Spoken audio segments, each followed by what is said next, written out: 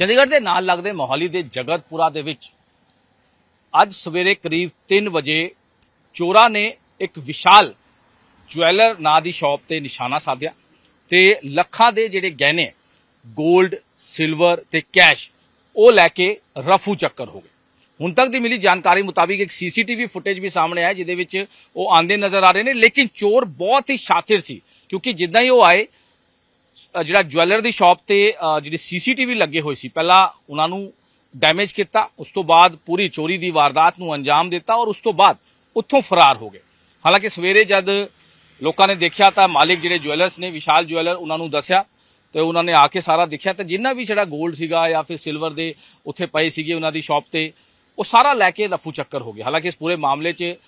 Police ਨੇ ਆਸ-ਪਾਸ ਦੇ ਨੇੜੇ ਤੇੜੇ ਦੀ ਜਿੰਨੀ ਵੀ ਸੀਸੀਟੀਵੀ ਫੁਟੇਜ ਹੈ, ਉਹ ਕਬਜ਼ੇ 'ਚ ਲੈ ਕੇ ਪੂਰਾ ਇਨਵੈਸਟੀਗੇਸ਼ਨ ਸ਼ੁਰੂ ਕਰ ਦਿੱਤੀ। ਹਾਲਾਂਕਿ ਹਜੇ ਤੱਕ ਕੋਈ ਗ੍ਰਿਫਤਾਰੀ ਇਸ ਪੂਰੇ ਮਾਮਲੇ 'ਚ ਨਹੀਂ ਹੋਈ ਹੈ, ਲੇਕਿਨ ਪੁਲਿਸ ਦਾਵਾ ਕਰ ਰਹੀ ਹੈ ਕਿ ਜਲਦੀ ਚੋਰਾਂ ਨੂੰ ਕਾਬੂ ਕਰ ਲਿਆ ਜਾਏਗਾ। ਹਾਲਾਂਕਿ ਉਸ ਏਰੀਆ ਦੇ ਵਿੱਚ ਪਹਿਲਾਂ ਵੀ ਇਸ ਤਰ੍ਹਾਂ ਦੀ ਵਾਰਦਾਤਾਂ ਸ਼ਾਮਿਲ ਹੋਈ ਹੈ, ਜਿਹਨੂੰ ਲੈ ਕੇ ਹੁਣ ਲੋਕਾਂ 'ਚ ਜ਼ਰੂਰ ਦਹਿਸ਼ਤ ਦਾ ਮਾਹੌਲ ਜਗਾ ਕਿ ਕਿਸ ਤਰ੍ਹਾਂ ਚੋਰੀਆਂ ਜਿਹੜੀ ਸਾਹਮਣੇ ਆ ਰਹੀ ਹੈ ਔਰ ਨਾਈਟ ਦੀ ਪੈਟਰੋਲਿੰਗ ਦੀ ਅਸੀਂ ਗੱਲ ਕਰ ਲਈਏ, ਬਿਲਕੁਲ ਨਾ ਦੇ ਬਰਾਬਰ ਹੈ, ਜਿਹੜੇ ਲੋਕਾਂ ਨੇ ਉੱਥੇ ਜਾਣਕਾਰੀ ਦਿੱਤੀ ਮੋਹਾਲੀ ਤੋਂ ਕੈਮਰਾਮੈਨ ਅਮਨਦੀਪ ਸਿੰਘ ਨਾਲ ਮਨੋਜ ਰਾਠੀ ਨਿਊਜ਼ 18 ਪੰਜਾਬ। ਚੰਡੀਗੜ੍ਹ ਦੇ ਨਾਲ ਲੱਗਦੇ ਮੋਹਾਲੀ ਦੇ ਜਗਤਪੁਰਾ ਦੇ ਵਿੱਚ ਅੱਜ ਸਵੇਰੇ ਕਰੀਬ 3 ਵਜੇ ਚੋਰਾਂ ਨੇ ਇੱਕ ਵਿਸ਼ਾਲ ਜੁਐਲਰ ਨਾਂ ਦੀ ਸ਼ਾਪ ਤੇ ਨਿਸ਼ਾਨਾ ਸਾਧਿਆ ਤੇ ਲੱਖਾਂ ਦੇ ਜਿਹੜੇ ਗਹਿਣੇ 골ਡ ਸਿਲਵਰ ਤੇ ਕੈਸ਼ ਉਹ ਲੈ ਕੇ ਰਫੂ ਚੱਕਰ ਹੋ ਗਏ। ਹੁਣ ਤੱਕ ਦੀ ਮਿਲੀ ਜਾਣਕਾਰੀ ਮੁਤਾਬਿਕ ਇੱਕ ਸੀਸੀਟੀਵੀ ਫੁਟੇਜ ਵੀ ਸਾਹਮਣੇ ਆਇਆ, ਜਿਹਦੇ ਵਿੱਚ ਉਹ ਆਂਦੇ ਨਜ਼ਰ ਆ ਰਹੇ ਨੇ, ਲੇਕਿਨ ਚੋਰ ਬਹੁਤ ਹੀ ਸ਼ਾਤਿਰ ਸੀ। ਕਿਉਂਕਿ ਜਿੱਦਾਂ ਹੀ ਉਹ ਆਏ ਜਿਹੜਾ ਜਵੈਲਰ ਦੀ ਸ਼ਾਪ ਤੇ ਅ, ਜਿਹੜੀ ਸੀਸੀਟੀਵੀ ਲੱਗੇ ਹੋਏ ਸੀ ਪਹਿਲਾਂ ਉਹਨਾਂ ਨੂੰ ਡੈਮੇਜ ਕੀਤਾ ਉਸ ਤੋਂ ਬਾਅਦ ਪੂਰੀ ਚੋਰੀ ਦੀ ਵਾਰਦਾਤ ਨੂੰ ਅੰਜਾਮ ਦਿੱਤਾ ਔਰ ਉਸ ਤੋਂ ਬਾਅਦ ਉੱਥੋਂ ਫਰਾਰ ਹੋ ਗਏ। ਹਾਲਾਂਕਿ ਸਵੇਰੇ ਜਦ ਲੋਕਾਂ ਨੇ ਦੇਖਿਆ ਤਾਂ ਮਾਲਿਕ ਜਿਹੜੇ ਜੁਐਲਰਸ ਨੇ ਵਿਸ਼ਾਲ ਜੁਐਲਰ ਉਹਨਾਂ ਨੂੰ ਦੱਸਿਆ ਤੇ ਉਹਨਾਂ ਨੇ ਆ ਕੇ ਸਾਰਾ ਦੇਖਿਆ ਤਾਂ ਜਿੰਨਾ ਵੀ ਜਿਹੜਾ 골ਡ ਸੀਗਾ ਜਾਂ ਫਿਰ ਸਿਲਵਰ ਦੇ ਉੱਥੇ ਪਏ ਸੀਗੇ ਉਹਨਾਂ ਦੀ ਸ਼ਾਪ ਤੇ ਉਹ ਸਾਰਾ ਲੈ ਕੇ ਲਫ਼ੂ ਚੱਕਰ ਹੋ ਗਿਆ। ਹਾਲਾਂਕਿ ਇਸ ਪੂਰੇ ਮਾਮਲੇ 'ਚ ਪੁਲਿਸ ਨੇ ਆਸ-ਪਾਸ ਦੇ ਨੇੜੇ ਤੇੜੇ ਦੀ ਜਿੰਨੀ ਵੀ ਸੀਸੀਟੀਵੀ ਫੁਟੇਜ ਹੈ, ਉਹ ਕਬਜ਼ੇ 'ਚ ਲੈ ਕੇ ਪੂਰਾ ਇਨਵੈਸਟੀਗੇਸ਼ਨ ਸ਼ੁਰੂ ਕਰ ਦਿੱਤੀ ਹਾਲਾਂਕਿ ਹਜੇ ਤੱਕ ਕੋਈ ਗ੍ਰਿਫਤਾਰੀ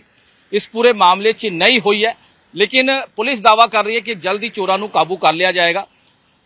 ਹਾਲਾਂਕਿ ਉਸ ਏਰੀਆ ਦੇ ਵਿੱਚ ਪਹਿਲਾਂ ਵੀ ਇਸ ਤਰ੍ਹਾਂ ਦੀ ਵਾਰਦਾਤਾਂ ਸ਼ਾਮਿਲ ਹੋਈ ਹੈ, ਜਿਹਨੂੰ ਲੈ ਕੇ ਹੁਣ ਲੋਕਾਂ 'ਚ ਜ਼ਰੂਰ ਦਹਿਸ਼ਤ ਦਾ ਮਾਹੌਲ ਜਗਾ ਕਿ ਕਿਸ ਤਰ੍ਹਾਂ ਚੋਰੀਆਂ ਜਿਹੜੀ ਸਾਹਮਣੇ ਆ ਰਹੀ ਹੈ ਔਰ ਨਾਈਟ ਦੀ ਪੈਟਰੋਲਿੰਗ ਦੀ ਅਸੀਂ ਗੱਲ ਕਰ ਲਈਏ, ਬਿਲਕੁਲ ਨਾ ਦੇ ਬਰਾਬਰ ਹੈ, ਜਿਹੜੇ ਲੋਕਾਂ ਨੇ ਉੱਥੇ ਜਾਣਕਾਰੀ ਦਿੱਤੀ ਮੋਹਾਲੀ ਤੋਂ ਕੈਮਰਾਮੈਨ ਅਮਨਦੀਪ ਸਿੰਘ ਨਾਲ ਮਨੋਜ ਰਾਠੀ, ਨਿਊਜ਼ 18 ਪੰਜਾਬ। ਚੰਡੀਗੜ੍ਹ ਦੇ ਨਾਲ ਲੱਗਦੇ ਮੋਹਾਲੀ ਦੇ ਜਗਤਪੁਰਾ ਦੇ ਵਿੱਚ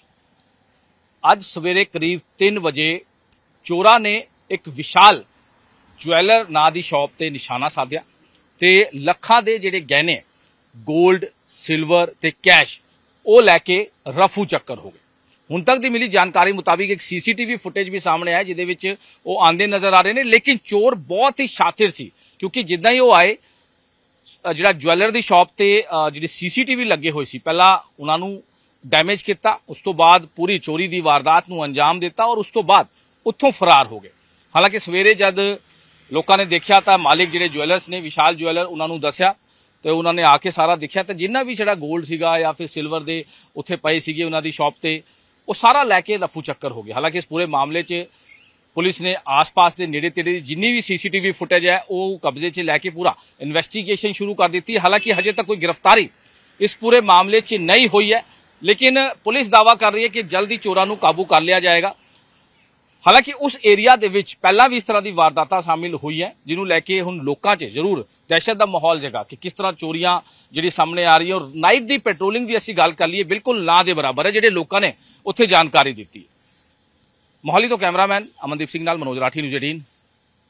ਪੰਜਾਬ।